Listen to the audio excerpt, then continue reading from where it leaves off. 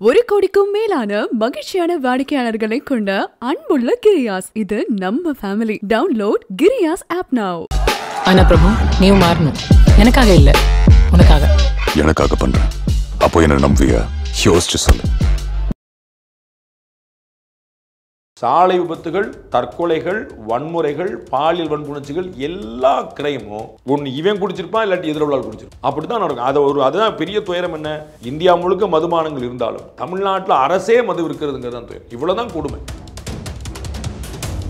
திமுகவுக்கு ஒரு சங்கடம் தான் ஏன்னா அவங்களுடைய கட்சியை சேர்ந்தவராக இருக்கிறாரு. அயலகணியில் மாவட்ட பொறுப்பில் இருந்திருக்கிறார். அரெஸ்ட் பண்ணப்பட்டிருக்கிறாரு. கட்சியிலேருந்து உடனே நீக்கிட்டாங்க. அவர் தொடர்பான ட்வீட் எல்லாம் நீக்கிறாங்க. அப்போ வந்து ஒரு சங்கடம் தான் அவங்க சொல்லிட்டே இருப்பாங்க. பட் இந்த நிர்வாகிகள் ஒருத்தரை வந்து ஒரு மாவட்ட பொறுப்பில் போடுறாங்கன்னு சொல்லும்போது அவர் யாருன்னே தெரியாது. ஏதோ ஒரு ஜாஃபர் சாதிக்கு வந்தாரு போட்டேன் அப்படி பண்ணவே முடியாது. அவங்க கட்டாயம் விசாரிச்சிருக்கும் நான் சொல்லுவேன் ஒரு தொண்டராக இருந்தாருன்னா ஒவ்வொருத்தருக்கு பின்னாடி என்ன இருக்குன்னு நமக்கு தெரியாது. ஆனால் ஒரு மாவட்ட பொறுப்பில் இருக்கிறாரு. அவர் வந்து வந்து எல்லா தலைமை குடும்பத்தில் எல்லாரோடையும் அக்சசபிளாக இருக்கிறாரு ஃபோட்டோ எடுத்துக்கிறாரு போறாரு விழாக்களுக்கு வர்றாங்க சினிமா படம் தயாரிக்கிறாருன்னா ஒரு நோட்டபுளான ஒரு ஆளாக இருக்கிறார். அப்போ அவருக்கு என்ன வருமானம் வருது ஏது வருமானம் வருது என்ன தொழில் என்ன பேக்ரவுண்டுங்கிறது தெரியவே இல்லைன்னு சொல்லி சொன்னால் அது வந்து இப்படி தேர்தல் நேரத்தில் இது மிக மிகப்பெரிய பூம் ஆகும்போது அவங்களுக்கு மிகப்பெரிய பின்னடைவு தானே? போதைப் பொருளை அதிமுகவும் கையில் எடுக்கும் பாஜகவும் கையில் எடுக்கும் தேர்தல் வரைக்கும் கொண்டு போவாங்க. பட் எனக்கு வந்து அது ஓட்டை மாற்றக்கூடிய ஒரு வல்லமை கொண்டதா அப்படின்னு எனக்கு தெரியல. அது வந்து ஐயோ எல்லாம் கஞ்சா வச்சு பண்றாங்களே இந்தியாவில் எங்க கிரைம் இருந்தாலும் அதுல தொண்ணூறு சதவீத காரணம் போதையா இருக்கும். சரக்கோ கஞ்சாவோ கழுதையோ குதிரையோ அவினோ அது எல்சிடியோ என்ன என்னென்ன சொல்றாங்களோ எத்தனை இருக்குதோ அதுல ஏதாவது ஒன்று இந்த போதை தான் அது நிர்பயா கேஸ்ல இருந்து பாத்துங்க ஏன்னா இதை குடிச்ச அப்புறம் தான் நீங்க வந்து நான் மதுவை ஒழிக்கிறேன் நான் போதையை ஒழிக்கிறேன்னு ரெண்டாயிரத்தி பதினாறுல உங்களுடைய தேர்தல் அறிக்கையில் இருந்துச்சா இல்லையா? நாங்க போதையை ஒழிப்போம் மதுவை ஒழிப்போம் மது கடையில கூடணும் இருந்துச்சா இல்லையா? அதிமுக சொல்லிச்சா இல்லையா? திமுக சொல்லிச்சா இல்லையா? அப்புறம் நீங்க ஏன் அதை அனுபவிக்கிறீங்க? எவ்வளவு கடையில குறைச்சிட்டீங்க சொல்லுங்க பாருக்கு போட்டி நடக்கு பட்டாசு தொழிற்சாலை விபத்து நடந்து இறந்தா மூணு லட்ச ரூபா கொடுக்குறாங்க. செங்கல்பட்டுலயும் செஞ்சி விழுப்புரத்துலயும் வந்து கள்ளச்சாராயம் குடிச்சிருந்தா பத்து லட்ச ரூபா கொடுக்குறாங்க. மத்திய அரசும் சரி மாநில அரசும் சரி இணைந்து நடவடிக்கை எடுத்தால் தான் இதை கண்டிப்பாக தடுக்க முடியும். ஆனால் ஏதோ ஒரு இடத்துல இது வந்து சுணக்கம் காட்டப்படுற மாதிரியே தெரியுது சார். தமிழ்நாடு போலீஸ்னு ஒன்று இருக்குது. சிபிஐன்னு ஒன்று இருக்குது. இந்த ரெண்டுக்கும் நெட்வொர்க்கிங்கே இல்லை. அப்போ தான் என்ன ஏன்னு ஒன்று வருது. இப்போ என்ன பண்ணாங்க? எல்லாத்துக்கும் சேர்த்து வச்சுட்டு ஒன்று பண்ணுவோம் அப்படின்னு தான் கொண்டு வராங்க. அப்போ வந்து அதில் என்ஐயில் எல்லாருமே உள்ள வரக்கிறாங்க. அப்போ வந்து ஒரு கோஆர்டினேஷன் நமக்கு தேவை. எங்கள்கிட்ட இருந்து அவங்கள்ட்ட இருந்து எங்களுக்கு லெட்டரே வரல. நாங்கள் அதிகமாக பிடிச்சிருக்கோம். நீங்கள் கம்மியாக பிடிச்சி இந்த மாதிரி ஒரு சண்டை நடந்துருந்துச்சு ரெண்டு பேருக்கு இடையில அப்படின்னா நம்ம யாருமே காப்பாற்ற முடியும் ரொம்ப அந்த ஊர் ரெண்டு பட்டா கூத்தாடி கொண்டாட்டம் சொல்லுவாங்கல்ல. தமிழ்நாடு போலீஸ் ஒரு பக்கம் என்சிபி ஒரு பக்கம். நல்லதாக போச்சு கடத்தல்காரனுக்கு.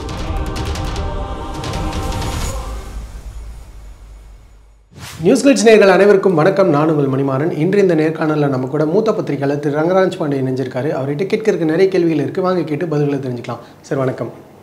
தேர்தல் காலங்கள் நெருங்கும் போது எல்லாமே எல்லா பிரச்சாரங்கள்லையுமே ஊழல் அப்படிங்கிற ஒரு விஷயம் வந்து மிகப்பெரிய அளவில் பேசப்படும்.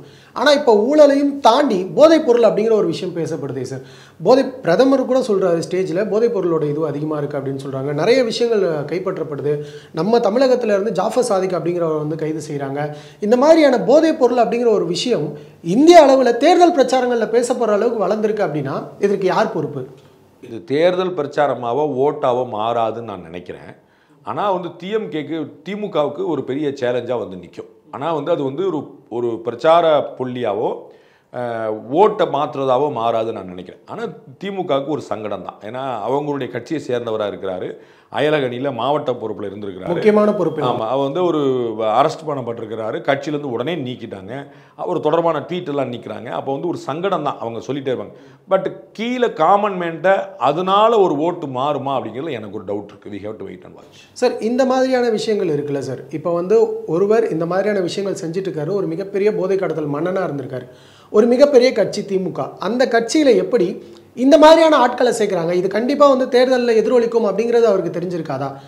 கண்டிப்பாக ஒரு தலைமைக்கு இதை வந்து நோட் பண்ணி பார்க்கணுன்ற அவசியம் கிடையாது. ஆனால் ஏதோ ஒரு தகவல் கண்டிப்பாக உங்களுக்கு சொல்லியிருப்பாங்களே. திரு ஸ்டாலின் அவர்களுக்கு இது தெரிஞ்சிருக்கணும்னு நான் சொல்ல மாட்டேன்.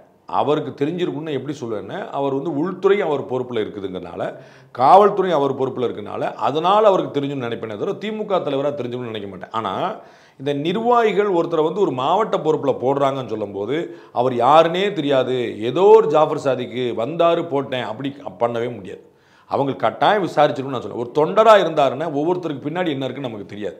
ஆனால் ஒரு மாவட்ட பொறுப்பில் இருக்கிறாரு. அவர் வந்து வந்து எல்லா தலைமை குடும்பத்தில் எல்லாரோடையும் அக்சசபிளாக இருக்கிறாரு ஃபோட்டோ எடுத்துக்கிறாரு போகிறாரு விழாக்களுக்கு வர்றாங்க சினிமா படம் தயாரிக்கிறாருன்னா ஒரு நோட்டபுளான ஒரு ஆளாக இருக்கிறார். அப்போ அவருக்கு என்ன வருமானம் வருது ஏது வருமானம் வருது என்ன தொழில் என்ன பேக்ரவுண்டுங்கிறது தெரியவே இல்லைன்னு சொல்லி சொன்னால் அது வந்து அதுதான் அரசியலில் வந்து சந்தேகத்துக்கிடமான விமர்சனமாக போய் நிற்குது பாஜகவும் அதிமுக அதை தான் கடுமையாக கேள்வி எழுப்புறாங்க. இந்த இடத்துல நோட்டபிள் பாயிண்ட்டாக இங்கே வைக்கப்படுறது என்ன அப்படின்னா பாண்டிச்சேரியில் ஒரு மிகப்பெரிய சம்பவம் ஒன்று நடக்குது. ஒரு சிறுமி ஒருத்தவங்க வந்து கொலை செய்யப்படுறாங்க படுகொலை செய்யப்படுறாங்கன்னு சொல்லலாம். அந்த இடத்துலையும் இந்த மாதிரியான போதைப் பொருள் அப்படின்னு சொல்லி பேசப்படும் போது ஃபஸ்ட்டு அவங்க மெயின் பண்ணுறது இப்போ வந்து இருக்கக்கூடிய இந்த டாப்பிக்கை பற்றி தான் உத்தரப்பிரதேசத்தில் அந்த மாதிரியான ஒரு சம்பவம் நடக்குது. அங்கே நடக்கும்போதும் அவங்க போதைப் பொருள் அந்த சர்ச் பண்ணி பார்த்துட்டு அவங்க குறிப்பிட்டு பிரச்சாரம் செய்யக்கூடிய ஒரு இடத்துல இருக்கிறது தமிழ்நாட்டில் இருக்கக்கூடிய ஜாஃபர் சாதிக் விஷயம் தான் இப்படி தேர்தல் நேரத்தில் இது மிகப்பெரிய பூம் ஆகும்போது ஆல்ரெடி சனாதான பிரச்சனையில் திமுகவினுடைய உதயநிதியும் அமைச்சர் சேகர் பாபு அவர்களும் மாட்டிக்கிட்டு இருக்காங்க. அதுவே மிகப்பெரிய பிரச்சார பீரங்கியாக வந்து பாஜக போன்ற கட்சிகள் எடுத்துக்கிட்டு பண்ணிக்கிட்டு இருக்காங்க. அப்போ இது அவங்களுக்கு மிகப்பெரிய பின்னடைவு தானே? நார்த் இந்தியாவில் சனாதன பிரச்சனை வந்து திமுக கூட்டணி ஐஎன்டிஏ கூட்டணிக்கு வந்து ஒரு பெரிய பின்னடைவாக இருக்கும். தமிழ்நாட்டில் அது வந்து ஒரு பெருசாக வராது. அதனால தான் இவங்களும் பெருசாக ஹைலைட் பண்ணல. அதை வந்து ஒரு விமர்சனம் பண்ணுறாங்க கவுண்டர் பண்ணுறாங்களே தவிர அதை அதிமுக கையில் எடுக்காது. அதை பாஜக மட்டும்தான் கையில் எடுக்கும். அதில் வந்து ஒரு அளவு தான் பண்ண முடியும். அதுக்கு மேலே வந்து புஷ் பண்ண முடியாது. தமிழ்நாட்டில் அது வந்து அது இன்னும் எடுபடுற அளவுக்கு அது ஹிந்து ஓட்டு வங்கின்னு ஒன்று ஃபார்ம் ஆகலை. நான் ஏற்கனவே சொன்னபோது போதைப் பொருளை அதிமுகவும் கையில் எடுக்கும் பாஜகவும் கையில் எடுக்கும். பிரச்சாரம் வரைக்கும் இன்னொரு ஐம்பது நாள் தானே. அதனால் தேர்தல் வரைக்கும் கொண்டு போவாங்க.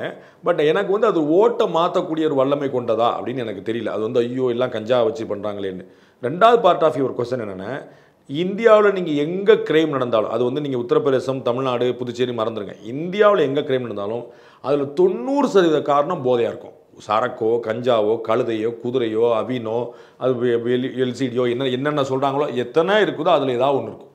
இந்த போதை தான் அது நிர்பயா கேஸ்லேருந்து பார்த்துங்க ஏன்னா இதை குடிச்ச அப்புறம் தான் இந்த போதையை மண்டையில் ஏற்றினதுக்கு அப்புறம் தான் புத்தி பெறலுது. வாய்க்கு வந்ததெல்லாம் தோணுது மனசுக்கு பராதெல்லாம் வந்து செஞ்சு பார்ப்போம் இந்த ரிஸ்க் எடுக்கிறதே வந்து அந்த இடத்துல நடக்குது. அதனால் சாலை விபத்துகள் தற்கொலைகள் வன்முறைகள் பாலியல் வன்புணர்ச்சிகள் எல்லா கிரைமும் ஒன்று இவன் குடிச்சிருப்பான் இல்லாட்டி எதிரவுளால் குடிச்சிருப்பான். அப்படி தான் நடக்கும். அதை ஒரு அதுதான் பெரிய துயரம் என்ன? இந்தியா முழுக்க மதுபானங்கள் இருந்தாலும் தமிழ்நாட்டில் அரசே மது இருக்கிறதுங்கிறது தான் துயரம். இவ்வளோ தான் கொடுமை. நம்ம வந்து இல்லை எங்கேயுமே இல்லை தமிழ்நாட்டில் மட்டும் நான் அணி நடக்கேன்னு சொல்லலை. எல்லா இடத்துலையும் பேசாமல் இருக்காங்க இங்கே தமிழ்நாட்டில் நீங்கள் கவர்மெண்ட்டே பண்ணுறீங்களே இதை நிறுத்தணுங்கிறது மட்டும் தான் நம்முடைய ஆசை வேற ஒன்றுமே இல்லை. நாலு திருட்டு போய் எல்லா இடத்துலையும் இருப்பான் எப்பயுமே இருப்பான். அதில் ஒன்றும் குழப்பம் இல்லை. நம்ம வந்து பாண்டிச்சேரியில் என்ன ஆட்சி நடக்குது திமுக ஆட்சியில் எங்கே நடக்குது அதை பற்றி பேசல. எல்லா இடத்துலையும் முள்ள மாதிரி இருப்பான்.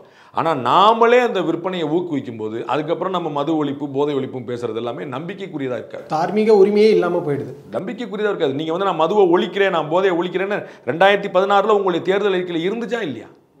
நாங்கள் போதையை ஒழிப்போம் மதுவை ஒழிப்போம் மதுக்கடையில் கூடணும் இருந்துச்சா இல்லையா?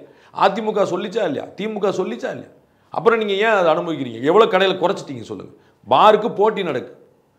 ஒரு ஒரு தீப்பெட்டி தொழிற்சாலையில் பட்டாசு தொழிற்சாலை விபத்து நடந்து இறந்தால் மூணு லட்ச ரூபா கொடுக்குறாங்க. செங்கல்பட்டுலேயும் செஞ்சி விழுப்புரத்துலேயும் வந்து மதுபானம் குடிச்சு கள்ளச்சாராயம் குடிச்சிருந்தா பத்து லட்ச ரூபா கொடுக்குறாங்க. மக்களுக்கு என்ன செய்தி போகும்னு சொல்லுங்கள் உங்களுக்கு புரியுதா? கள்ளச்சாராயம் குடி செத்தியா? பத்து லட்சம். தொழில் வேலை பார்த்துட்டு இருக்கும்போது செத்தியா? மூணு லட்சம். என்ன செய்தி போது சொல்லுங்க. அரசாங்கமே மது இருக்கும் கள்ளச்சாராயத்தை தடுக்க வேண்டியது அரசாங்கத்துறை வேலை. கள்ளச்சாராயம் வந்துருங்கனால தான் நான் மது விற்கனே சொல்கிறீங்க புரியுதுங்களா? நீங்கள் கேட்டிங்கன்னா கள்ளச்சாராயத்தை தடுக்கிறதுக்கு தான் அரசே மது இருக்குன்னு சொல்லுவாங்க. கள்ளச்சாராயத்தை தடுக்கல. நம்ம ஊரில் இருபத்தி ரெண்டு பேர் இறந்துருக்குறாங்க. அப்போ அவங்களுக்கு நீங்கள் பத்து லட்ச ரூபா கொடுக்குறீங்க. தலா பத்து லட்ச ரூபா. அப்போ என்ன செய்தி கொடுக்குறீங்கன்னு சொல்லுங்கள் இப்போது தமிழக காவல்துறை தரப்பில் நிறைய இடங்களில் கஞ்சா two point two three point ஓன்னு சொல்லி அதை தடுக்கிறதுக்கான நிறைய வழிகாட்டுகளை வழிகாட்டுதல்களை வந்து முன்னெடுத்துட்டு இருக்காங்க. பள்ளிகளில் போதைப் பொருட்களை வந்து யாரும் உபயோகப்படுத்தக்கூடாதுன்னு சொல்லி நிறைய நிறைய விதமான விழிப்புணர்வு விஷயங்களையும் முன்னெடுத்துட்டு இருக்காங்க. ஆனால் இன்னொரு பக்கம் இந்த மாதிரியான சம்பவங்கள் நடக்க நடக்க எல்லாத்துலேயுமே போதை அப்படிங்கிறது ஒரு முக்கிய புள்ளியாக இருக்கும்போது இது யாருடைய தோல்வியாக சார் பார்க்க போகிறது ஒருவேளை இன்டெலிஜென்ஸ் இந்த இடத்துல தோல்வி விடுறாங்களோ? இன்டெலிஜென்ஸோட தோல்வி தான் ஒன்று அதில் வந்து எந்த வேறு யாருமே இல்லை. இன்டெலிஜென்ஸ் தான். அது சென்ட்ரல் ஏஜென்சி வச்சுக்கோங்க ஸ்டேட் ஏஜென்சி வச்சுக்கோங்க. ஏன்னா இவர்கள் எப்போதும் இதை பண்ணிக்கிட்டே இருப்பாங்க. அப்போ நம்ம வந்து கடுமையான நடவடிக்கைகள் மூலம் விஜிலண்ட்டாக இருக்கிற மூலமாக செய்ய முடியும். தமிழக காவல்துறை பியூட்டிஃபுல்லாக நடவடிக்கை எடுத்துட்டு எனக்கு எந்த குழப்பம்ல நான் அதை அறுதிட்டு சொல்லுவேன் ஏன்னா திரு சங்கல் ஜுவார் அவர்கள் வந்து அவரே என்சிபியில் இருந்தவர். இன்றைக்கி டிஜிபியாக இருக்கிற அவரே என்சிபியில் இருந்தவர். அவர் சென்னை போலீஸ் கமிஷனராக இருக்கும்போது தான் இந்த கஞ்சா தடுப்பு one point zero two point ஜீரோவில் அவர் ஆரம்பித்தார் நிறைய பேருடைய இப்போ வந்து மகேஷ்குமார் அகர்வால் அவர் வந்து இந்த போதைப்பொருள் தடுப்பு பிரிவில் இருக்கிறவர் அவர் வந்து தெளிவாக வெளியிட்டிருக்கிறார். எவ்வளோ சொத்துக்கள் பறிமுதல் பண்ணப்பட்டிருக்கு எவ்வளோ பேங்க் அக்கௌண்ட்கள் ஃப்ரீஸ் பண்ணப்பட்டிருக்கு எவ்வளோ பேர் கூண்டாசல் இது எல்லாமே லோக்கல் லெவலில் தரை லெவலில் பள்ளிக்கூட வாசலில் விற்றான் பெடலிங் பண்ணா திருமங்கலத்துலேருந்து மதுரை எடுத்துகிட்டு போனால் திருநகர்லேருந்து திருப்ப திருப்பரங்குன்றம் எடுத்துகிட்டு போனால் இந்த குரூப்பு ஆனால் இப்போ பர்ஸ்ட் ஆகிருக்கிறது வந்து தமிழ்நாடு வந்து ஒரு மையப்புள்ளியாக இருந்திருக்கு. இந்தியா முழுக்க இன்டர்நேஷனலான கடத்தலுக்கு மையப்புள்ளி ஒருத்தர் இங்கே உட்காந்துருக்கிறாருங்கிறது அதனுடைய மேக்னிடியூட் இன்னும் ரொம்ப பெருசு.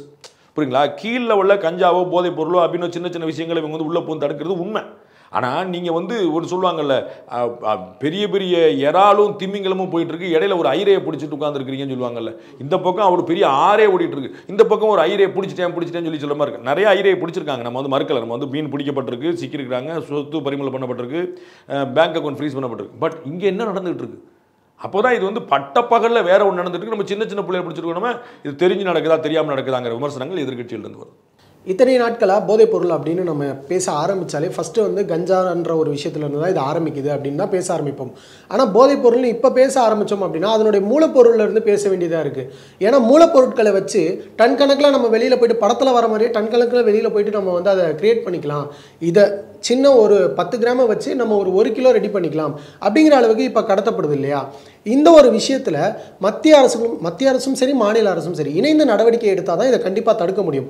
ஆனால் ஏதோ ஒரு இடத்துல இது வந்து சுணக்கம் காட்டப்படுற மாதிரியே தெரியுது சார். ஆமாம் இப்போ திமுக பாஜக சண்டை தமிழ்நாடு போலீஸ் டெல்லி போலீஸ் சண்டை இப்படி தான் போயிட்டு இருக்கு. நீங்கள் பண்ணீங்களா நாங்கள் பண்ணோமா இதுதான் போயிட்டு இருக்கு. அதான் பிரச்சனை. இப்போ தமிழ்நாடு போலீஸ்னு ஒன்று இருக்குது சிபிஐன்னு ஒன்று இருக்குது. இந்த ரெண்டுக்கும் நெட்வொர்க்கிங்கே இல்லை. அப்போ தான் என்ஐஏன்னு ஒன்று வருது. இப்போ என்ன பண்ணாங்க? எல்லாத்துக்கும் சேர்த்து வச்சுட்டு ஒன்று பண்ணுவோம் அப்படின்னு தான் கொண்டு வராங்க. அப்போ வந்து அதில் என்ஐஏல எல்லாருமே உள்ளே வரக்கிறாங்க. அப்போ வந்து ஒரு கோஆர்டினேஷன் நமக்கு தேவை. எங்கள்கிட்ட இருந்து அவங்கள்ட்ட இருந்து எங்களுக்கு லெட்டரே வரல. நாங்கள் அதிகமாக பிடிச்சிருக்கோம். நீங்கள் கம்மியாக பிடிச்சி இந்த மாதிரி ஒரு சண்டை நடந்துருந்துச்சு ரெண்டு பேருக்கு இடையில அப்படின்னா நம்ம யாருமே காப்பாற்ற முடியாது. ரொம்ப அந்த ஊர் ரெண்டு பட்டா கூத்தாடி கொண்டாட்டம் சொல்லுவாங்கல்ல. தமிழ்நாடு போலீஸ் ஒரு பக்கம் என்சிபி ஒரு பக்கம். நல்லதாக போச்சு கடத்தல்காரனுக்கு? புரியுங்களா உங்களுக்கு? நிறைய நிறைய இடங்களில் சொல்லுவாங்க டிஸ்ட்ரிக்ட் பிரச்சனையில் போலீஸ் மாட்டிக்கிட்டுன்னு சொல்லுவாங்க. சார் அவன் விருதுநகர் மாவட்டத்துக்கும் மதுரை மாவட்டத்துக்கும் நடுவில் ஓடி போயிட்டான் சார். டீ கல்பிட்டில் ஓடி போயிட்டான் சார். இந்த பக்கம் விருதுநகர் இந்த பக்கம் மதுரை சார் இந்த பக்கம் தப்பிச்சு போயிட்டான் சார். யாருன்னு பார்டர் பிரச்சனை சார். அப்போ யாருக்கு நட்டம்? ஒட்டுமொத்த போலீஸுக்கும் தலைக்குனிவு ஒட்டுமொத்த என்சிபிக்கும் தலைக்குனிவு ஒட்டுமொத்த சமுதாயத்துக்கும் சீர்கேடு. இதில் வந்து ஒரு கோஆர்டினேஷன் இருந்து விட்டு கொடுத்து முக்கியமான அதிகாரி நோடல் ஆஃபீஸர் சப்போர்ட்டு எனக்கு கிடைக்கிற இன்புட்டை பூரா உனக்கு கொடுக்குறேன். உனக்கு கிடைக்கிற இன்புட்டை பூரா எனக்கு கொடு. நெட்வொர்க்கிங் பண்ணி நம்ம சரி பண்ணணும். அப்படி ஒரு நம்பிக்கையோடு போகணும். நான் தனியாக செயல்படுறேன் நீங்கள் ரெண்டு பேருமே சிறப்பாக செயல்படுறீங்க. என்சிபியை நம்ம குறைச்சி மதிப்பிட முடியாது. தமிழ்நாடு போலீஸை நான் குறைச்சி மதிப்பிடவே மாட்டேன். ஆனால் ரெண்டு பேரும் ஆளுக்கு ஒரு திக்கா போனீங்கன்னா யாருக்கு லாபம்? கொள்ளையடிக்கிறவனுக்கும் கொ- கொலை பண்ணுறவனுக்கும் கடத்துறவனுக்கும் லாபம். ரெண்டு பேரும் ஒன்று மண்ணா இருந்தீங்கன்னா இவ்வளோ தான் பாயிண்ட் அதை நம்ம செய்யாமல் மத்திய அரசு செய்யலைன்னு அவங்க சொல்ல மத்திய மாநில அரசு செய்யலைன்னு இவங்க சொல்ல. உங்களுடைய நேரத்தை பயன்படுத்தி ரொம்ப நன்றி சார். ஒரு கோடிக்கும் மேலான மகிழ்ச்சியான வாடிக்கையாளர்களை கொண்ட அன்புள்ள கிரியாஸ். இது நம்ம ஃபேமிலி டவுன்லோட் கிரியாஸ் ஆப் நவ் ஆனா பிரபு நீயும் மாறணும். எனக்காக இல்ல. உனக்காக. எனக்காக பண்றேன். அப்போ என்ன நம்புவியா? யோசிச்சு சொல்லு.